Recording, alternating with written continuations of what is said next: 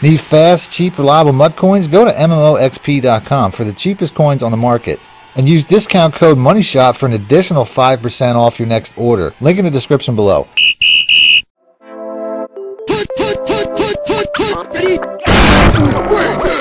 Welcome back, YouTubers and Madden fans. This is Madden Money Shot, sniffing out the Madden cheese as always. Got some passing plays for you today out of the Seahawks playbook.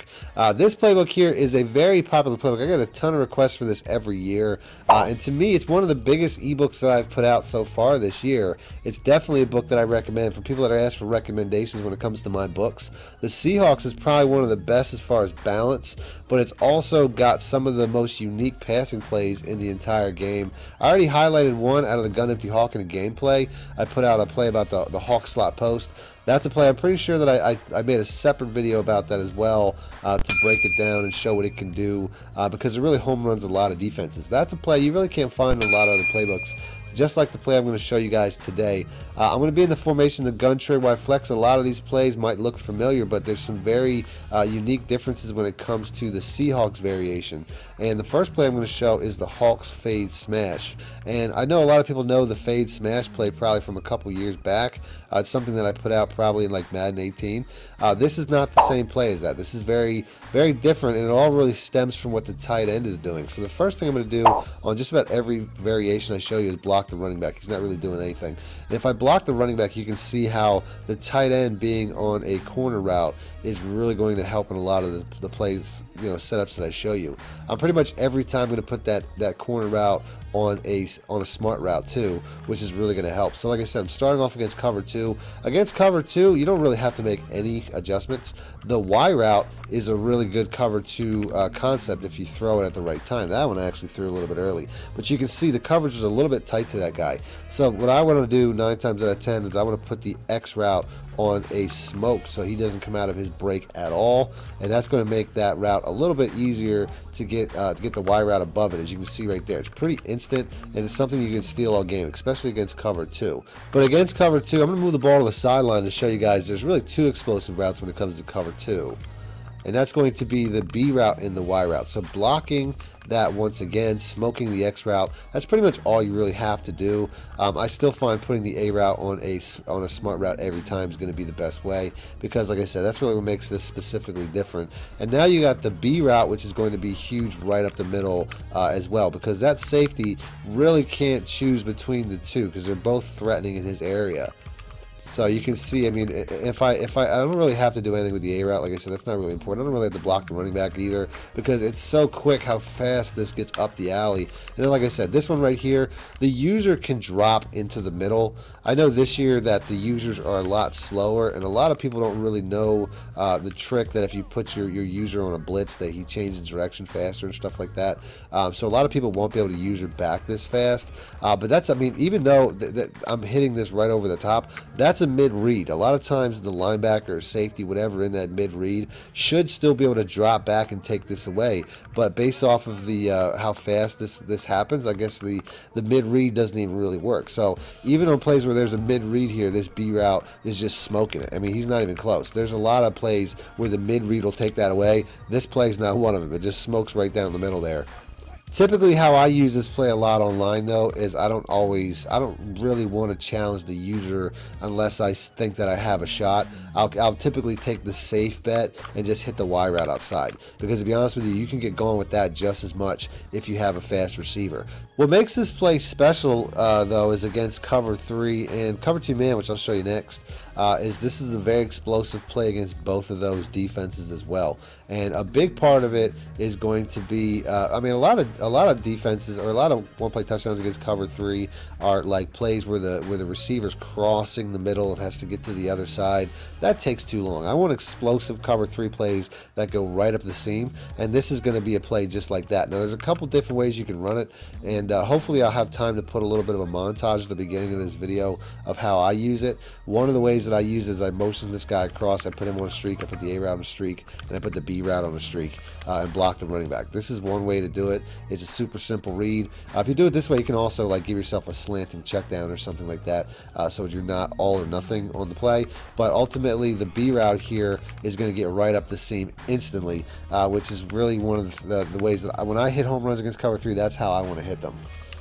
I don't like cover three plays where you have to wait for a, a, a, receiver to cross the middle. It gives your opponent time to drop back into that lane. I really like to just hit explosive cover threes right up the seam, and you can see that this is definitely going to do that. So, like I said, there's really nothing to that. You just have to wait for that cornerback to bite, just like a lot of cover threes. And I'll go to the replay to show that real quick. But you can see how quick and easy and explosive this play is. So, just to show you what I'm talking about when it comes to this cover three cornerback, a lot of times if you throw it too early, like right here, he'll make a play on that. He'll get back against that, even though you already have obviously you know pass leading space to the outside. So you really have to wait for him to commit a little bit, and then once he he bites to take away this shorter route, that's when I'm probably throwing the ball away. As you can see, I'm already I'm already gearing up. So like I said, you're just watching that corner. The second that cornerback bites, boom, I'm getting the ball out of my hand, pass leading and bullying away, and you can see it's a really easy explosive play. Now there's a second way to run this uh, so that you're you know you can mix it up. You're not showing your hand. If you hit a home run against your opponent one time running it, they're going to be looking for that same motion. So if you make that same motion again with the receiver, they're going to say, okay, I know where this ball is going. They're going to use it. So there's two ways to do this. The second way to do this is going to be by motioning across the running back. Put the running back out because ultimately to make this play successful, you have to make that safety move in the center of the field right there. You can see how this moves him across, makes him a single high safety. Now you're going to have success again. If you don't move him, you can't make that throw. So streaking the B route once again, streaking the RB route. Uh, like I said, the A route, I typically want to streak him. Now we're kind of doing the same variation where everybody's on streaks. And then all you have to do is put the X route on a drag. So this is your look. You have a check down with the X route as well, uh, which is nice. You don't have to create a check down with the running back or the tight end. Uh, this is pretty much the look. The, the, drag will get that guy out of position, and then you can see we're just going right over the top. It's a very similar concept to another play I put out of the Saints array this year. I think it was the Saints drag. Against cover two, man, this is an explosive play as well. There's not a ton of cover two uh, one play touchdowns when it comes to man, but this is going to be one of them if you get the right defense. If your opponent matches personnel, which is like a three, they'll see a three wide receiver set, but typically come out like a nickel or something like that, you're going to get the matchup that you want. Because this receiver over here, this tight end rather, is off the line, a lot of times he's going to basically take up the cornerback on that man coverage because he's off the line. He's not really a tight end at this point. He's basically a receiver. So in that scenario, he'll keep one of the top corners on that side. And if you get that matchup where there's a cornerback on that side, you're going to have the B route here covered by um, a linebacker, which ultimately is going to be an explosive, you know, that's going to be explosive for you. So all I'm really going to do is put the A route on a smart route, block the running back one more time, and that's all I really have to do. I can put the X route on a drag or a slant, uh, give myself a check down because that's the only thing that's really not being used. This is going to be your setup right here. And then, like I said, if I get the matchup that I want, that B route is going to be gone right over the top. As you can see, I mean, we get we split the safeties because of what the other receivers are doing, and he's just going to beat that one-on-one. So now I'm in a dime, which is, you know, once again, like I said, even if people want to try to match this, you can still have that effect. As you can see right here, the B route destroys the press and now you can see he's still an explosive one play touchdown. So even if you have a cornerback, which is typically going to be like the fourth cornerback, or you know, it's not typically going to be the best cornerback because of where this guy's positioned in the slot, you can still get that look. And it really all comes down to the press animation. It really, that's the only thing that really matters is does he beat that press off the line? And you can see right here, he's getting that a lot of times, and then I can just bullet pass it over the top. So if you get a cover two, even with a cornerback, I know people in the comment section might want to say, well, he's going against a linebacker. But even against a cornerback, you can see if even if you spread them out and they come out in something cornerback heavy, you can still get one play touchdowns against his defense very easily. Against cover one man, which will also get quite a bit, or cover zero, say they're blitzing with no safety help over the top, um, you can still have a lot of success with those defenses as well. Same setup. I'm not going to leave myself a check down here. Uh, I'm just to, you know, I mean, if I really want to, I can put the A route on a slant, put the A route on a drag or something. That'd probably make the most sense for a check down. But ultimately, uh, it's all about how the Y route beats his press now. So if the Y route um, gets off of his jam, like I said, it doesn't really matter what man coverage you run you're going to have something that beats pretty much all those coverages. But you have to put the X route on a smoke, otherwise he'll get in the way and he'll help the, the defender get his jam. But like I said, if he gets off of this, you're just floating it up. And this is also a really big play. So like I said, if it was a cover zero, there'd be no safety help out there. But since it's a cover one, there is somebody. But ultimately, it's not going to stop the completion from happening. So whether it's cover one, cover two, cover zero, man, all that, it really just depends on whether they can beat this press.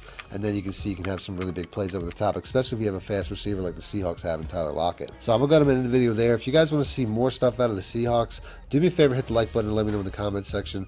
Other than that, thanks for watching Madden Money Shot Out. Need more help or just want to show your support? Then head over to my Patreon and join my team, where you can get exclusive content like ebooks and bonus plays as well as early access to my vids and more. Link in the description below.